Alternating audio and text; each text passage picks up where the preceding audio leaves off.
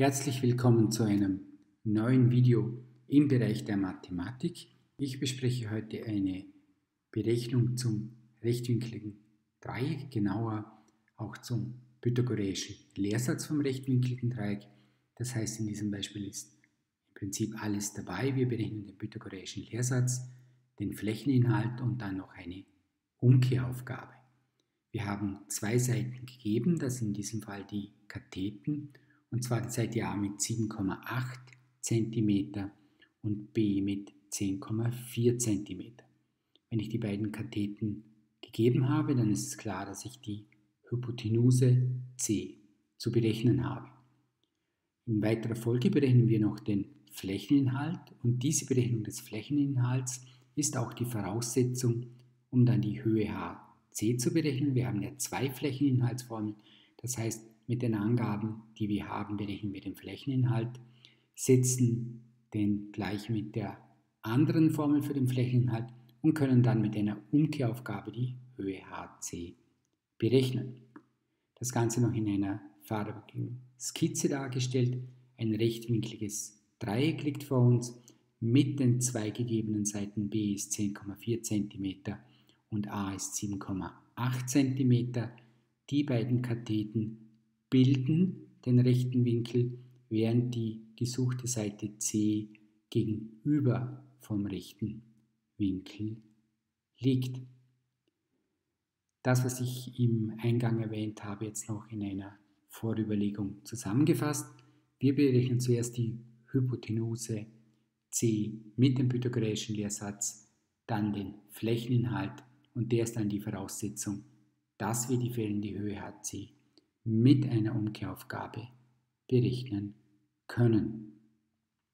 Beginnen wir mit dem ersten Schritt, mit der Berechnung der Hypotenuse.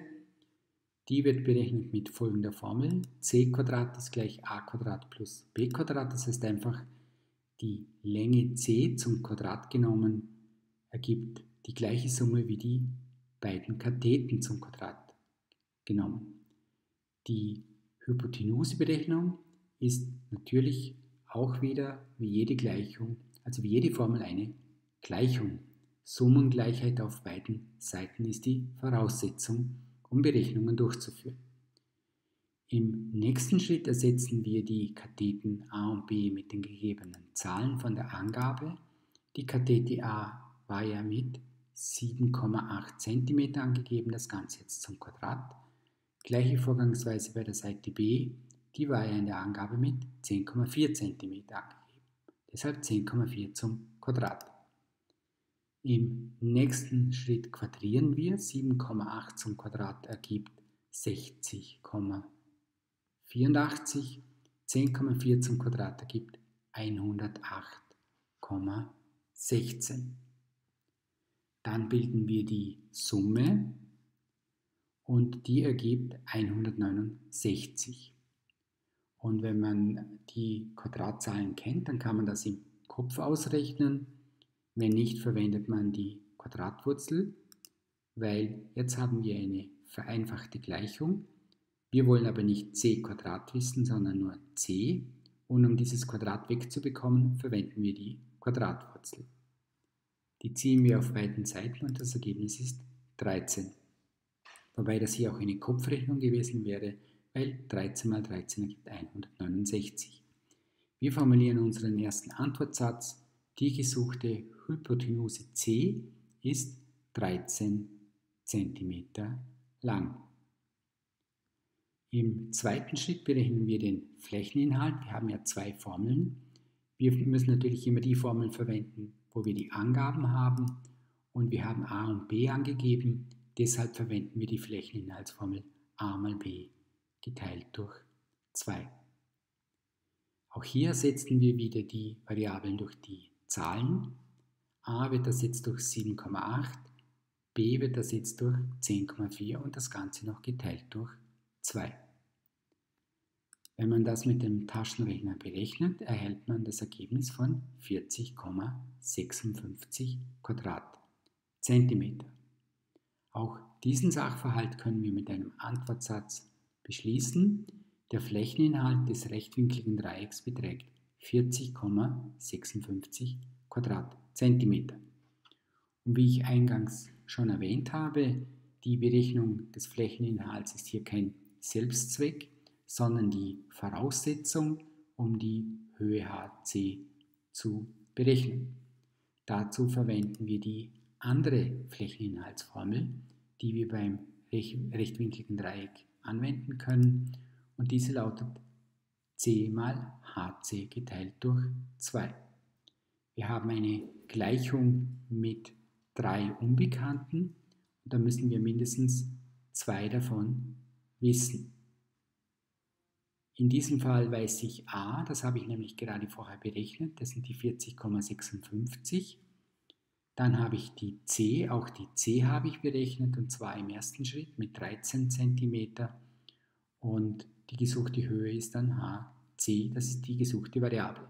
Das heißt, ich kann diesen dritten Schritt nur dann berechnen, wenn ich die ersten zwei Aufgabenstellungen Hypotenuse C berechnen und Flächeninhalt berechnen gelöst habe. Jetzt können wir im nächsten Schritt von diesen drei Variablen zwei ersetzen, und zwar durch die Ergebnisse der Berechnungen. Der Flächeninhalt wurde ja berechnet mit 40,56, C wurde berechnet mit 13. HC bleibt über, das ist die gesuchte Variable, und geteilt durch 2 übernehmen wir auch. Jetzt haben wir eine Gleichung mit einer Unbekannten und diese formen wir mit Äquivalenzumformungen so um, dass schlussendlich die gesuchte Variable alleine übrig bleibt. Wir beginnen mit dem ersten Umformungsschritt und zwar eliminieren wir geteilt durch 2 mit dem Gegenteil das machen wir bei Gleichungen immer so, wir eliminieren etwas mit dem Gegenteil. Und dann müssen wir das nicht nur auf einer Seite machen, sondern immer auf beiden Seiten. 40,56 mal 2 ergibt 81,12. Auf der rechten Seite verschwindet das dividiert durch 2, weil dividiert durch 2 und mal 2, das eliminiert sich ja gegenseitig. Jetzt habe ich als nächsten Schritt das mal 13 zu eliminieren. Das Gegenteil von mal 13 ist geteilt durch 13. Und auch hier dividiere ich wieder beide Seiten durch 13. Wenn ich 81,12 durch 13 dividiere, erhalte ich als Ergebnis 6,24 und auf der rechten Seite bleibt HC übrig. Das Ganze kann ich dann wieder mit einem Flächeninhalt, Entschuldigung, mit einem Antwortsatz natürlich, äh, beschließen. Die Höhe HC beträgt 6,24 cm. Damit haben wir alle Berechnungen durchgeführt ich hoffe, dieses Beispiel hat dir gefallen hinsichtlich der Lösung und hilft dir dann auch im konkreten Fall auch weiter.